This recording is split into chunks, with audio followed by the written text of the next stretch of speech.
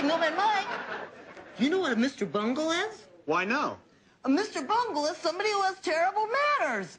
You know what time it is right now? Oh, yeah, it's time for my next break. Mm-hmm. It's time for the film about having bad manners. For room 104, the name's Herman. Pee Wee Herman. No, nothing right now, Mr. Herman.